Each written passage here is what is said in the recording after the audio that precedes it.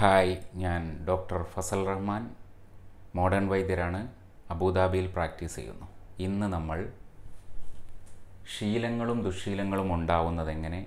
പുകവലിക്ക് പിന്നിലെ സയൻസ് പുകവലിയുടെ ദൂഷ്യവശങ്ങളെല്ലാം അറിഞ്ഞിട്ടും പുകവലിക്കാർ വലിച്ചുകൊണ്ടേയിരിക്കുന്നത് എന്തുകൊണ്ട്? ഒരാൾ പുകവലിക്കാരനാവുന്നത് എങ്ങനെ? പുകവലി നിർത്താൻ എന്തുകൊണ്ടാണ് ഇത്ര ബുദ്ധിമുട്ട്? തുടങ്ങിയ ചോദ്യങ്ങൾക്ക് പിന്നിലെ ന്യൂറോ സയൻസ് അഥവാ തലച്ചോറിന്റെ ശാസ്ത്രത്തെക്കുറിച്ചാണ്. പുകവലിക്കാരും പുകവലിക്കാത്തവരും തീർച്ചയായും അറിഞ്ഞിരിക്കേണ്ട കുറച്ച് ശാസ്ത്രീയ അറിവുകളാണ് നമ്മൾ ഇന്നിവിടെ പറയുന്നത്. അപ്പോൾ നമുക്ക് ആദ്യത്തെ ചോദ്യത്തിലേക്ക് കിടക്കാം. ശീലങ്ങളും ദുശീലങ്ങളും ഉണ്ടാവുന്നത് എങ്ങനെ അതിനു മുമ്പ് നമ്മളൊരു കാര്യം മനസ്സിലാക്കേണ്ടതുണ്ട്. ഒരു കാര്യം അല്ലെങ്കിൽ ഒരു പ്രവൃത്തി നമ്മൾ ചെയ്യുന്നത് എന്തിനാണ് അല്ലെങ്കിൽ എന്തുകൊണ്ടാണ്? ഇതിന് പലർക്കും പല ഉത്തരങ്ങളാണ്. ചിലർ പറയും സമാധാനം കിട്ടാനാണ് താല്പര്യം കൊണ്ടാണ് സുഖം കിട്ടാനാണ് പണം സമ്പാദിക്കാനാണ് ദൈവഭയം കൊണ്ടാണ് ആരോഗ്യത്തിന് നല്ലതായതുകൊണ്ടാണ് സമൂഹ നന്മയ്ക്ക് വേണ്ടിയാണ്. ഇങ്ങനെ പലർക്കും പല പ്രവൃത്തികൾക്കും പലതരം ഉത്തരങ്ങളാണ്. പക്ഷേ ന്യൂറോ സയൻസ് അഥവാ തലച്ചോറിന്റെ ശാസ്ത്രപ്രകാരം ഇതിനൊരൊറ്റ ഉത്തരമേ ഉള്ളൂ. ഡോപ്പമിൻ കിട്ടാനാണ് അല്ലെങ്കിൽ ഡോപ്പമിൻ കിട്ടുന്നത് കൊണ്ട്. അപ്പോൾ എന്താണ് ഡോപ്പമിൻ? തലച്ചോറിനുള്ളിൽ ഒരുപാട് രാസതന്മാത്രകളുണ്ട് അതിലൊരു പ്രധാനപ്പെട്ട രാസതന്മാത്രയാണ് ഡോപ്പമിൻ. ഡോപ്പമിനെ നമുക്ക് സന്തോഷത്തിന്റെ രാസതന്മാത്ര എന്ന് വിളിക്കാം. നമുക്ക് സന്തോഷം ലഭിക്കുന്ന ഏത് പ്രവൃത്തി ചെയ്താലും തലച്ചോറിനുള്ളിൽ അത് ഡോപ്പമിന്റെ അളവായി പ്രതിഫലിപ്പിക്കപ്പെടും. ഉദാഹരണത്തിന് നമ്മൾ നല്ലൊരു പുസ്തകം വായിക്കുന്നു നല്ലൊരു പാട്ട് കേൾക്കുന്നു നല്ല ഭക്ഷണം കഴിക്കുന്നു ഫോണിൽ ഫേസ്ബുക്കും ടിക്ടോക്കും ഒക്കെ നോക്കുന്നു അല്ലെങ്കിൽ നല്ലൊരു കായികാധ്വാനത്തിൽ ഏർപ്പെടുന്നു സ്പോർട്സിൽ ഏർപ്പെടുന്നു ഇത്തരം സന്ദർഭങ്ങളിലെല്ലാം തലച്ചോറിലെ ഡോപ്പമിന്റെ അളവാണ് കൂടുന്നത്. തലച്ചോറിനുള്ളിൽ ഒരു റിവാർഡ് സിസ്റ്റം അല്ലെങ്കിൽ റിവാർഡ് പാത്വേ ഉണ്ട്. ഇതിനെ സ്റ്റിമുലേറ്റ് ചെയ്യുന്ന ഏതൊരു പ്രവൃത്തി ചെയ്താലും നമ്മുടെ തല തലച്ചോറിനുള്ളിലെ ഡോപ്പമിന്റെ അളവ് കൂടും. അത് നമുക്ക് ഒരു പ്ലഷറബിൾ എഫക്റ്റ് അല്ലെങ്കിൽ ഒരു സന്തോഷകരമായ അവസ്ഥ ലഭിക്കാനിടയാക്കും. ഉദാഹരണമായി എല്ലാ കളികളെക്കുറിച്ചും സ്പോർട്സുകളെക്കുറിച്ചുമൊക്കെ സാമാന്യ വിവരമുള്ള ഒരാൾ ഒരാൾ ആളിൽ തന്നെ ചിലർക്ക് ഫുട്ബോളിനോട് ഇഷ്ടം ചിലർക്ക് ക്രിക്കറ്റിനോട് ഇഷ്ടം ചിലർക്ക് വോളിബോൾ ചിലർക്ക് ടെന്നീസ് ചിലർക്ക് ബാഡ്മിന്റൺ അങ്ങനെ ഇഷ്ടങ്ങൾ മാറി മാറി വരുന്നതിന് കാരണം ചിലർക്ക് ഫുട്ബോളുമായി ബന്ധപ്പെട്ട കളിക്കുക കളി കാണുക കളിയെപ്പറ്റി ചർച്ച ചെയ്യുക ഒക്കെ ചെയ്യുമ്പോഴാണ് അവർക്ക് ഡോപ്പമിന്റെ ആക്ഷൻ കൂടുതലായി ലഭിക്കുന്നത്. ഇത് ചിലർക്ക് ക്രിക്കറ്റ് ക്രിക്കറ്റുമായി ബന്ധപ്പെട്ടായിരിക്കും.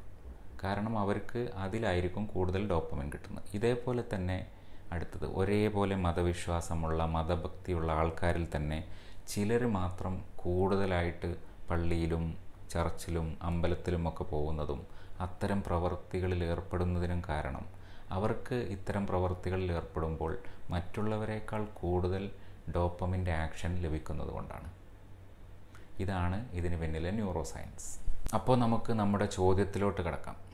എങ്ങനെയാണ് ശീലങ്ങളും ദുശീലങ്ങളും ഉണ്ടാകുന്നത് ഒരേ പ്രവൃത്തി സ്ഥിരമായി സാധാരണയായി ചെയ്യുന്നതിനെയാണല്ലോ ശീലം എന്ന് പറയുന്നത്. ശീലമാണെങ്കിലും ദുശീലമാണെങ്കിലും നമ്മുടെ തലച്ചോറിലെ ഡോപ്പമിന്റെ അളവ് തന്നെയാണ് കൂടുന്നത്. കേരളത്തിലെ സാധാരണ ദുശീലങ്ങളായ അല്ലെങ്കിൽ ലഹരികളായ സിഗരറ്റ് വലിക്കുമ്പോഴും കഞ്ചാവ് വലിക്കുമ്പോഴും മദ്യം ഉപയോഗിക്കുമ്പോഴും കൊക്കൈൻ പോലുള്ള മാരകമായ ലഹരികൾ ഉപയോഗിക്കുമ്പോഴും ഡോപ്പമിന്റെ അളവ് തന്നെയാണ് വർദ്ധിക്കുന്നത്. പക്ഷേ ഇതിനൊരു പ്രശ്നമുണ്ട്. നമ്മൾ നേരത്തെ സൂചിപ്പിച്ച പോലെ പുസ്തകം വായിക്കുമ്പോഴോ നല്ല പാട്ട് കേൾക്കുമ്പോഴോ കുടുംബത്തോടൊപ്പം സമയം ചിലവഴിക്കുമ്പോഴോ കായിക വിനോദങ്ങളിൽ ഏർപ്പെടുമ്പോഴോ ഒക്കെ ഉണ്ടാക്കുന്ന ഡോപ്പമിന്റെ അളവ് ഒരു ഇരുപത്തഞ്ചോ അൻപതോ ആണെന്ന് കരുതുക.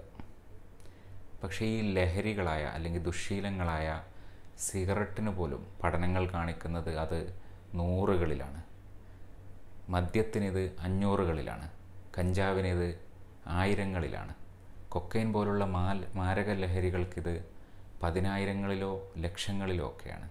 അപ്പോൾ തീവ്രമായ ലഹരികൾ ഉപയോഗിക്കുമ്പോൾ നമ്മുടെ തലച്ചോറിലെ ഡോപ്പമിന്റെ അളവ് ക്രമാതീതമായി വർദ്ധിക്കുന്നു. അതുകൊണ്ടാണ് ഒരു സാധാരണ ശീലത്തേക്കാൾ ഒരു നല്ല ശീലത്തേക്കാൾ ഒരു ദുശ്ശീലം നമ്മുടെ തലച്ചോറിൽ അല്ലെങ്കിൽ ശീലമായിട്ട് വേരുറച്ചു പോകാനുള്ള കാരണം ഈ ഡോപ്പമിന്റെ അളവിലുള്ള ഈ വ്യത്യാസങ്ങളാണ്. അപ്പോൾ നമുക്ക് രണ്ടാമത്തെ ചോദ്യത്തിലേക്ക് കിടക്കാം. എന്താണ് പുകവലിയുടെ പിന്നിലെ സയൻസ്? നമ്മൾ കണ്ടിട്ടുണ്ടാവും പുകവലിക്കാരായ നാട്ടുകാരെയും കൂട്ടുകാരെയൊക്കെ. അതിൽ അധ്യാപകരൊക്കെ ആണെങ്കിൽ ഓരോ ക്ലാസ് കഴിയുമ്പോഴും കച്ചവടക്കാരാണെങ്കിൽ കടക്ക് പുറത്തിറങ്ങിയും വീട്ടിലെ മുതിർന്നവരൊക്കെ ആണെങ്കിൽ അങ്ങാടിയിൽ പോയും അല്ലെങ്കിൽ ബാൽക്കണിയിലോട്ടൊക്കെ പോയിട്ടും ഏതെങ്കിലും ഫങ്ഷനിലൊക്കെ ആണെങ്കിൽ അതിനിടക്ക് മുങ്ങി പുറത്തു പോയിട്ടും തിയേറ്ററിലൊക്കെ ഇന്റർവെല്ലിന് പുറത്തിറങ്ങി ഓടി പുറത്തിറങ്ങിയിട്ടും ഒക്കെ അവസരങ്ങൾ ഉണ്ടാക്കി വലിക്കുന്നത് നമ്മൾ കാണാറുണ്ട്. അപ്പോൾ ഇവരോട് ആരോടെങ്കിലും നമ്മൾ ചോദിക്കുകയാണ് ഈ പുകവലിയുടെ ദൂഷ്യവശങ്ങൾ മൊത്തം അറിഞ്ഞിട്ടും നിങ്ങൾ എന്തിനാണ് വലിക്കുന്നത് എന്ന് ചോദിച്ചാൽ അവർ മിക്കവരും പറയും ടെൻഷൻ മാറാനാണ്. അല്ലെങ്കിൽ ഞാനിത് അടുത്ത ആഴ്ച നിർത്താൻ പോവാണ്. വലിക്കാതെ അങ്ങോട്ട് നിൽക്കാൻ പറ്റുന്നില്ല എന്നൊക്കെ. അപ്പോൾ നമുക്ക് സ്മോക്കിങ്ങിന്റെ സയൻസിലോട്ട് പോവാം. തീർച്ചയായും ഇത് ഡോപ്പമിന്റെ അഥവാ സന്തോഷത്തിന്റെ തന്മാത്രയുടെ കളി തന്നെയാണ്. നമ്മളൊരു സ്മോക്ക് പുകവലിക്കുമ്പോൾ സ്മോക്ക് ഇൻഹെയിൽ ചെയ്ത് അതില്ല ശ്വാസകോശത്തിലെത്തുന്നു. ശ്വാസകോശത്തു നിന്ന് പുകയിലടങ്ങിയിരിക്കുന്ന നിക്കോട്ടിൻ ശ്വാസകോശത്തിലെ രക്തക്കുഴലുകൾ വഴി നമ്മുടെ രക്തത്തിലെത്തുന്നു. അത് രക്തത്തിൽ നിന്ന് ഏകദേശം എട്ട് സെക്കൻഡ് കൊണ്ട് തന്നെ തലച്ചോറിലെത്തുന്നു. തലച്ചോറിലെത്തിയിട്ട് അത് നിക്കോട്ടിൻ റിസപ്റ്റേഴ്സുമായിട്ട് ബൈൻഡ് ചെയ്യുന്നു. അങ്ങനെ ന്യൂറോ ട്രാൻസ്മിറ്റേഴ്സായ ഡോപ്പമിൻ റിലീസ് ആവുന്നു. ഈ ഡോപ്പമിൻ നമ്മുടെ നേരത്തെ പറഞ്ഞ റിവാർഡ് സെന്റർ അല്ലെങ്കിൽ റിവാർഡ് പാത്ത് വേ വഴി പ്ലഷർ സന്തോഷം ഉണ്ടാക്കുന്നു. അറ്റൻഷൻ ഒരു ശ്രദ്ധ കൂട്ടുന്നു. മെന്റൽ പ്രോസസ്സിങ് മാനസിക നില ഉയർത്തുന്നു. വർക്കിംഗ് മെമ്മറി കൂട്ടുന്നു. അറൗസൽ അഥവാ ഒരു ഉത്തേജനം ഉണ്ടാക്കുന്നു. അതേപോലെ പെരിഫറൽ നെർവസ് സിസ്റ്റത്തിൽ ചെന്നിട്ട് നിക്കോട്ടിൻ നമ്മുടെ ബി പി ചെറുതായിട്ട് കൂട്ടുന്നു ഹാർട്ട് റേറ്റ് കൂട്ടുന്നു ഹൃദയത്തിന്റെ മിടിപ്പ് കൺട്രാക്ടിലിറ്റി കൂട്ടുന്നു ജി ഐ മോട്ടിലിറ്റി വയറിന്റെ മോഷനൊക്കെ ഉണർത്തുന്നു. ഇങ്ങനെ വളരെ കുറഞ്ഞ ചിലവിൽ വളരെ കുറഞ്ഞ ചിലവിൽ വലിയ അധ്വാനമില്ലാതെ മെനക്കേടില്ലാതെ സമയനഷ്ടമില്ലാതെ ഒരു നല്ല ലെവലിലുള്ള ഡോപ്പമിൻ തരുന്നു. അതുകൊണ്ടാണ് ശരിക്കും ഈ സിഗരറ്റ് ആൾക്കാർ വലിച്ചുകൊണ്ടേയിരിക്കുന്നത്.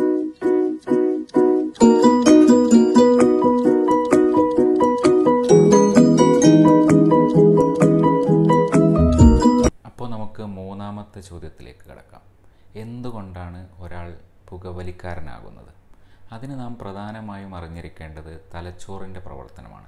നമുക്കറിയാം നമ്മുടെ സ്വഭാവത്തെ നിയന്ത്രിക്കുന്നത് നമ്മുടെ തലച്ചോറാണ്. നമ്മുടെ പ്രവൃത്തി നമ്മുടെ ചിന്ത കാര്യങ്ങൾ മനസ്സിലാക്കുന്നത് നല്ലതും ചീത്തയും തിരിച്ചറിയുന്നത് കാര്യശേഷി കാര്യപ്രാപ്തി ഇതൊക്കെ നിയന്ത്രിക്കുന്നത് തലച്ചോറാണ്. ലോകത്തു നിന്നും നമുക്ക് ലഭിക്കുന്ന അറിവുകളിൽ നിന്നും അനുഭവങ്ങളിൽ നിന്നും പുതിയ നിഗമനങ്ങളിൽ എത്തിച്ചേരാനും ആ നിഗമനങ്ങളിൽ നിന്നും കാര്യങ്ങൾ മനസ്സിലാക്കി അതിനനുസരിച്ച് പെരുമാറാനും പരിശീലിപ്പിക്കുന്നതും കാര്യപ്രാപ്തമാക്കുന്നതും നമ്മുടെ തലച്ചോറാണ്.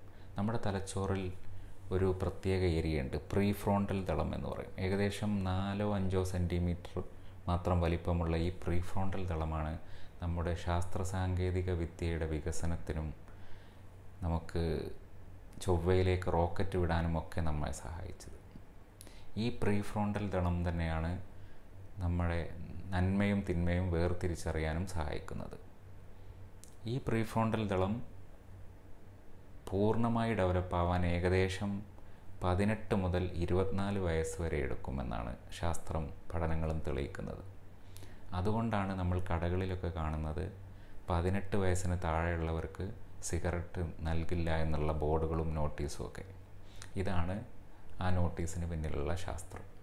അപ്പോൾ നമ്മുടെ തലച്ചോറിന്റെ ചിന്താശക്തിയെ വിവേചന ബുദ്ധിയെ നല്ലതും ചീത്തയും തിരിച്ചറിയാനുള്ള കഴിവിനെ മതബോധത്തെ വ്യക്തിത്വബോധത്തെ എത്തിക്സിനെ ഒക്കെ മറികടന്ന് നമ്മൾ ആദ്യത്തെ സിഗരറ്റ് വലിക്കും. മിക്കവാറും ആൾക്കാർ ഒരു കൗതുകത്തിനോ പിയർ ഗ്രൂപ്പ് പ്രഷർ കൊണ്ടോ ഷോ ഓഫിനോ സിനിമയിൽ നിന്നൊക്കെ മോട്ടിവേറ്റഡ് ആയിട്ടോ നാട്ടുകാരെ കാണിക്കാനൊക്കെ ആയിരിക്കും ആദ്യമായിട്ട് വലിച്ചു തുടങ്ങുക. ആദ്യമായിട്ട് വലിച്ചു തുടങ്ങുമ്പോൾ നമുക്ക് ഒരുപാട് ബുദ്ധിമുട്ടുകൾ അനുഭവ അനുഭവപ്പെടും. ആ ആ സ്മെല്ല് ഇഷ്ടപ്പെടില്ല ചുമ വരും തൊണ്ടക്ക് വേദനയൊക്കെ വരും. പിന്നീട് നമ്മൾ ഇതിൽ നിന്നും ആ ഡോപ്പമിൻ ഹൈ കിട്ടിത്തുടങ്ങും അങ്ങനെ ഇതിനെയാണ് നമ്മൾ നിക്കോട്ടിൻ ട്രാപ്പ് എന്ന് പറയാം. പിന്നീട് ഈ നിക്കോട്ടിൻ ട്രാപ്പിൽ അകപ്പെട്ട് കഴിഞ്ഞാൽ ഇങ്ങനെ നിക്കോട്ടിൻ വഴി സിമ്പിളായിട്ട് ഡോപ്പമിൻ കിട്ടുക എന്നുള്ള ഇതിന് നമ്മൾ അഡിക്റ്റ് ആയിട്ട് മാറും. അങ്ങനെ നമ്മളൊരു നല്ല പുകവലിക്കാരനായി മാറും. അങ്ങനെയാണ് സാധാരണയുള്ള ആൾക്കാർ പുകവലിക്കാരായി മാറുന്നത്. നാലാമത്തെ ചോദ്യം. പുകവലിക്കാർ പുകവലിച്ചുകൊണ്ടേയിരിക്കുന്നത് എന്തുകൊണ്ടാണ്? നമ്മൾ നേരത്തെ പറഞ്ഞതുപോലെ നിക്കോട്ടിൻ ട്രാപ്പ് അഥവാ നിക്കോട്ടിന്റെ ചതിയിൽ നമ്മൾ അകപ്പെട്ട് കഴിഞ്ഞാൽ നമ്മൾ നിക്കോട്ടിൻ അഡിക്റ്റ്സ് ആയിട്ട് മാറും. അപ്പോൾ രക്തത്തിൽ നമ്മുടെ നിക്കോട്ടിന്റെ അളവ് കുറഞ്ഞു കഴിഞ്ഞാൽ ഉടൻ തന്നെ നമുക്ക് നിക്കോട്ടിൻ കിട്ടേണ്ടതായി വരും. അങ്ങനെ നമ്മുടെ ഫിസിക്കൽ നീഡ്സ് അഥവാ ശാരീരിക ആവശ്യങ്ങളെല്ലാം ടൊബാക്കോ നീഡ്സ് ആയിട്ട് മാറും. അതിനുശേഷം നമ്മുടെ ജീവിത രീതികൾ ഫങ്ഷനുകൾ കൂട്ടുകാർ സാഹചര്യങ്ങളൊക്കെ പുകവലിയുമായി ബന്ധപ്പെട്ടതായി മാറും. പുകവലിക്ക് തടസ്സമാകുന്ന കൂട്ടുകാർ ജീവിത സാഹചര്യങ്ങൾ ഫങ്ഷനുകൾ എല്ലാം നമ്മൾ ഉപേക്ഷിക്കും. മാക്സിമം ഉപേക്ഷിക്കാൻ ശ്രമിക്കും. അപ്പോൾ നമുക്ക് ആ പ്രധാനപ്പെട്ട ചോദ്യത്തിലേക്ക് കിടക്കാം. ഒരാൾ ദിവസവും മൂന്നും നാലും സിഗരറ്റ് വലിച്ചുകൊണ്ടിരിക്കുന്ന ഒരാൾ പെട്ടെന്ന് അത് അഞ്ചും ആറിലോട്ടും എട്ടും പത്തിലേക്കും പിന്നെ പതിനഞ്ചും ഇരുപതിലേക്കുമൊക്കെ മാറുന്നത് എന്തുകൊണ്ടാണ്? അല്ലെങ്കിൽ ഒരു സ്മോക്കർ പിന്നീട് എപ്പോഴും വലിച്ചുകൊണ്ടിരിക്കുന്ന ഒരു അവസ്ഥയിലേക്ക് മാറുന്നത് എന്തുകൊണ്ടാണ്? ഡിപ്പെൻഡൻസ് അല്ലെങ്കിൽ സഹനം എന്ന് പറയുന്ന ഒരവസ്ഥയുണ്ട് എന്ന് പറഞ്ഞാൽ മുമ്പ് നമുക്ക് സിഗരറ്റ് വലിക്കുമ്പോൾ കിട്ടിക്കൊണ്ടിരുന്ന ഒരു കിക്ക് അല്ലെങ്കിൽ സന്തോഷം അല്ലെങ്കിൽ സംതൃപ്തിയൊക്കെ കിട്ടാനും വേണ്ടി നമ്മൾ കൂടുതൽ അളവിൽ നിക്കോട്ടിന് ആവശ്യമായി വരുന്ന അവസ്ഥക്കാണ് സഹനം എന്ന് പറയുന്നത്. അതായത് തുടർച്ചയായ കൺസിസ്റ്റന്റായ യൂസ് നമ്മളെ ടോളറൻസിലേക്ക് നയിക്കും. അങ്ങനെ ഉള്ള നിക്കോട്ടിനുള്ള റെസ്പോൺസ് ശരീരത്തിൽ കുറയും. അതുകൊണ്ട് പഴയ കിക്ക് കിട്ടാൻ അല്ലെങ്കിൽ പഴയ സന്തോഷം കിട്ടാൻ നമ്മൾക്ക് കൂടിയ ഡോസിൽ നിക്കോട്ടിൻ ആവശ്യമായി വരും. ഇതിന് രണ്ട് തിയറികളാണുള്ളത്. ഒന്ന് റിസപ്റ്റേഴ്സ് ആർ ലെസ് സെൻസിറ്റീവ് എന്ന് പറഞ്ഞാൽ ഉള്ള റിസപ്റ്റേഴ്സിന്റെ റെസ്പോൺസ് ഭയങ്കരമായിട്ട് കുറയും. പിന്നെ റിസപ്റ്റേഴ്സ് ഈ നിക്കോട്ടിൻ ആക്സെപ്റ്റ് ചെയ്യാനുള്ള റിസപ്റ്റേഴ്സ് നശിക്കുക വഴി ഉള്ള റിസപ്റ്റേഴ്സിന്റെ എണ്ണം കുറയും. അങ്ങനെ നമുക്ക് ആദ്യം കിട്ടിക്കൊണ്ടിരുന്ന അതേ അവസ്ഥ കിട്ടാൻ കൂടുതൽ നിക്കോട്ടിൻ അല്ലെങ്കിൽ കൂടുതൽ സിഗരറ്റ് യൂസ് ചെയ്യേണ്ടതായി വരും. അങ്ങനെയാണ് ആൾക്കാർ മൂന്നും നാലിൽ നിന്നും പത്തും പതിനഞ്ചും ഇരുപതിലോട്ടും മാറുന്നത്. അല്ലെങ്കിൽ ഒരു സമയം തന്നെ രണ്ട് സിഗരറ്റൊക്കെ വലിക്കേണ്ട ആവശ്യം വരുന്നത്. അത് ഈ ടോളറൻസ് കൊണ്ടാണ്. അഞ്ചാമത്തെ ഏറ്റവും പ്രധാനപ്പെട്ട ചോദ്യം. എന്തുകൊണ്ടാണ് പുകവലി നിർത്താൻ ഇത്ര ബുദ്ധിമുട്ട്? ഇത് പുകവലിക്കാരും പുകവലിക്കാത്തവരും അറിഞ്ഞിരിക്കേണ്ട ഒരു ചോദ്യമാണ്. ഇതിന് നാല് കാരണങ്ങളാണുള്ളത്. ഒന്ന് സിഗരറ്റ് വലി മൂലം കിട്ടുന്ന ആ ഡോപ്പമിൻ ഹൈ. രണ്ട് നിക്കോട്ടിൻ ട്രാപ്പ് വഴി ഉണ്ടാകുന്ന ശാരീരിക അഡിക്ഷൻ. മൂന്ന് നിക്കോട്ടിന്റെ അളവ് ശരീരത്തിൽ കുറഞ്ഞാലുണ്ടാകുന്ന പിൻവാങ്ങൽ ലക്ഷണങ്ങൾ അഥവാ വിത്ഡ്രോവൽ സിംറ്റംസ് നാല് ഈ ബാഡ് ഹാബിറ്റ് വഴി അല്ലെങ്കിൽ ഈ ദുശീലം വഴി ഉണ്ടാകുന്ന ബിഹേവിയറൽ പ്രോബ്ലംസ് അല്ലെങ്കിൽ സാഹചര്യ പ്രശ്നങ്ങൾ. ഇത് നാലുമാണ് പ്രധാനമായും പുകവലി നിർത്താൻ നമ്മളെ ബുദ്ധിമുട്ടിപ്പിക്കുന്നത്. ഒന്നാമതായി നമ്മൾ നേരത്തെ പറഞ്ഞതുപോലെ ഒരു പുകവലിക്കാരന് വലിയ മെനക്കേടില്ലാതെ സമയനഷ്ടമില്ലാതെ അധ്വാനമില്ലാതെ നൂറിന് മുകളിൽ ഒരു ഡോപ്പമിൻ ഹൈ കിട്ടുന്നു അഥവാ സന്തോഷം കിട്ടുന്നു. അപ്പോൾ നമുക്ക് വേണമെങ്കിൽ ചിന്തിക്കാം എന്താ പ്രശ്നം? സന്തോഷമല്ലേ കിട്ടുന്നത്? സന്തോഷം കിട്ടിക്കൂടെ? വീണ്ടും ഉപയോഗിച്ചുകൂടെ എന്ന്. അവിടെയാണ് ഒരു പ്രശ്നം. ഒരു പ്രശ്നമുണ്ട് വർമ്മ സാറേ വരുന്നത്. എന്ന് പറഞ്ഞാൽ ആവശ്യത്തിൽ കൂടുതൽ ഡോപ്പമിൻ ഹൈ നമുക്ക് തലച്ചോറിൽ കിട്ടിക്കഴിഞ്ഞാൽ അത് തലച്ചോറിലെ കോശങ്ങളെ നശിപ്പിക്കും. പിന്നെ രണ്ടാമത്തെ പ്രശ്നം എന്താണെന്ന് ചോദിച്ചാൽ അത് പിന്നീട് എപ്പോഴും ഈ ഡോപ്പമിൻ ഹൈ നമുക്ക് കിട്ടേണ്ടതായിട്ട് വരും. ഇത് രണ്ടും പ്രശ്നം തന്നെയാണ്. പിന്നെ നാം നേരത്തെ പറഞ്ഞതുപോലെ നമ്മൾ സാധാരണയായി ചെയ്യുന്ന പുസ്തകം വായിക്കുക നല്ല പാട്ട് കേൾക്കുക ഫ്രണ്ട്സിനൊപ്പം സമയം ചിലവഴിക്കുക കുടുംബത്തോടൊപ്പം സമയം ചിലവഴിക്കുക ഈ കാര്യങ്ങൾക്കൊക്കെ ഡോപ്പമിൻ കിട്ടുന്നത് ഇരുപത്തഞ്ച് അൻപതുകളിലാണ്.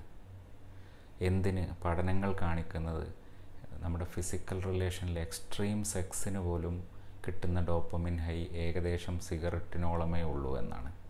അപ്പോൾ നമുക്ക് പ്രശ്നം എന്താണെന്ന് ചോദിച്ചാൽ അപ്പോൾ നമുക്ക് ഈ സന്തോഷം മതിയാവാതെ വരും.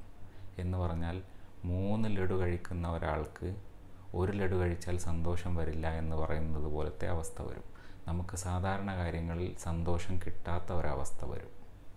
രണ്ടാമതായി നിക്കോട്ടിൻ ട്രാപ്പാണ്. നമ്മൾ അവസാനം വലിച്ച സിഗരറ്റിലെ നിക്കോട്ടിൻ അത് നമുക്കൊരു ട്രാപ്പായിട്ട് മാറും. വീണ്ടും അതേ അളവിൽ നിക്കോട്ടിൻ കിട്ടേണ്ടതായി വരും. നിക്കോട്ടിൻ കിട്ടിയില്ലെങ്കിൽ നമുക്ക് വീണ്ടും ബുദ്ധിമുട്ട് അനുഭവപ്പെടുന്ന ഒരു അവസ്ഥ വരും. ഇതിനെയാണ് നിക്കോട്ടിൻ ട്രാപ്പ് എന്ന് പറയുന്നത്. ഈ അഡിക്ഷനുള്ള മെയിൻ കാരണം നിക്കോട്ടിൻ എന്ന രാസവസ്തു തന്നെയാണ്. മൂന്നാമതായി ഇങ്ങനെ നിക്കോട്ടിന്റെ അളവ് ശരീരത്തിൽ കുറഞ്ഞു കഴിഞ്ഞാൽ അത് ശരീരം പിൻവാങ്ങൽ ലക്ഷണങ്ങൾ അഥവാ വിത്ഡ്രോവൽ സിംറ്റംസ് കാണിക്കും. സിവിയർ ക്രേവിങ്സ് ഇനിയും കിട്ടണമെന്ന അമിതമായ ആഗ്രഹം. ഇറിറ്റബിലിറ്റി പിരിപിരിപ്പ് ആങ്സൈറ്റി ഉത്കണ്ഠ ആങ്കർ ദേഷ്യം പുവർ കോൺസെൻട്രേഷൻ ശ്രദ്ധക്കുറവ് റെസ്ലെസ്നെസ് അസ്വസ്ഥത ഇൻക്രീസ്ഡ് അപ്പറ്റൈറ്റ് കൂടിയ വിശപ്പ് ഇൻസോംനിയ ഇങ്ങനെ ഒരുപാട് ബുദ്ധിമുട്ടുകൾ കാണിക്കും. അങ്ങനെ അയാൾ വീണ്ടും പുകവലിക്കാൻ ശ്രമിക്കും. അങ്ങനെ പുകവലിക്കുമ്പോൾ അയാൾ മുന്നേ വലിച്ച സിഗരറ്റിന്റെ നിക്കോട്ടിന്റെ ആവശ്യങ്ങൾ അത് ദൂരീകരിക്കും. അങ്ങനെ അയാൾ വീണ്ടും ഒരു പുകവലിക്കാരനായി മാറും. നാലാമതായി ബിഹേവിയറൽ പ്രോബ്ലംസ് അഥവാ സാഹചര്യ സ്വഭാവ ബുദ്ധിമുട്ടുകൾ. നമ്മൾ സ്ഥിരമായിട്ട് ചെയ്തുകൊണ്ടിരിക്കുന്ന ഒരു സ്വഭാവം പെട്ടെന്ന് നിർത്തുമ്പോൾ അത്തരം സ്ഥലങ്ങളിലെത്തുമ്പോൾ സാഹചര്യങ്ങളിലെത്തുമ്പോൾ കൂട്ടുകാർക്ക് മുന്നിലൊക്കെ എത്തുമ്പോൾ നമുക്ക് ഭയങ്കരമായ ഒരു അസ്വസ്ഥത ഉണ്ടാവും. ഒരു ഫീലിംഗ് ഓഫ് എംറ്റിനെസ് വരും. ആകെ ഒരു ടെൻഷനും ഇതുമൊക്കെ ആയിരിക്കും. അതാണ് അടുത്ത നാലാമത്തെ മെയിൻ പ്രശ്നം. ഇതെല്ലാം ഈ നാല് പ്രശ്നങ്ങളും പരിഹരിച്ചാൽ മാത്രമേ ഒരാൾക്ക് പുകവലി എന്ന ദുശ്ശീലങ്ങളിൽ നിന്നും മോചിതനാവാൻ പറ്റൂ. അപ്പോൾ നമ്മൾ പുകവലി എങ്ങനെ നിർത്താം എന്നതിനെക്കുറിച്ച് ചർച്ച ചെയ്യേണ്ടത് അത്യാവശ്യമാണ്. അപ്പോൾ പുകവലി എന്ന ഏറ്റവും മോശമായ ദുശ്ശീലത്തിൽ നിന്നും ഏറ്റവും അഡിക്ഷൻ ഉണ്ടാക്കുന്ന ഈ ദുശ്ശീലത്തിൽ നിന്നും എങ്ങനെ പരിപൂർണമായി മോചിതനാവാമെന്നും അതിനെന്തൊക്കെ മുൻകരുതലുകൾ എടുക്കണമെന്നും തയ്യാറെടുപ്പുകൾ വേണമെന്നും എങ്ങനെ പരിപൂർണമായി മോചിതനാവാനുള്ള വഴികൾ എന്തൊക്കെയെന്നും നമുക്ക് അടുത്ത വീഡിയോയിൽ കാണാം. അതുവരെ താങ്ക്സ് ഫോർ വാച്ചിങ്